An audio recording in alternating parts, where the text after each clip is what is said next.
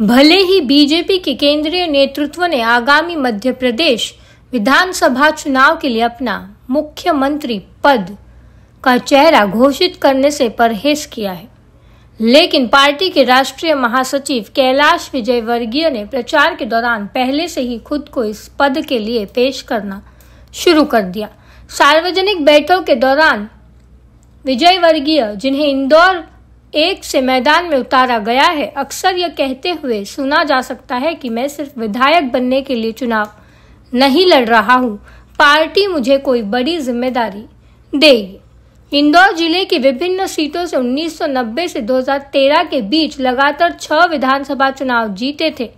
सड़सठ वर्षीय विजय वर्गीय को 17 नवंबर को होने वाले चुनाव में कांग्रेस के मौजूदा विधायक संजय शुक्ला के खिलाफ मैदान में उतारा गया है। हालाँकि राजनीतिक हलकों में लोग विजय वर्गीय और शुक्ला के बीच करीबी रिश्तों से वाकिफ है। इसलिए इन दोनों नेताओं के बीच मुकाबला चर्चा का विषय बना हुआ है।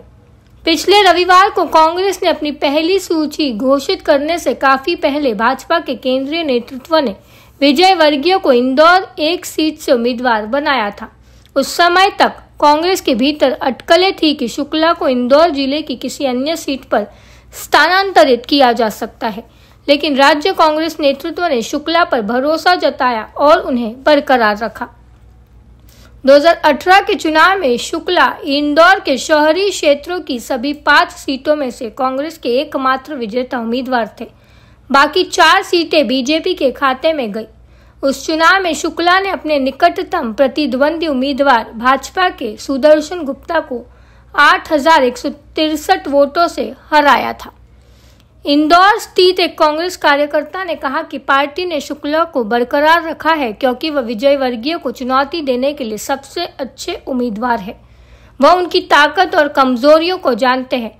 मुकाबला बहुत कांटे का होगा और विजय वर्गीय भी इस बात को अच्छी तरह से जानते हैं। यही कारण है कि वह बड़े पैमाने पर सार्वजनिक बैठकें कर रहे हैं।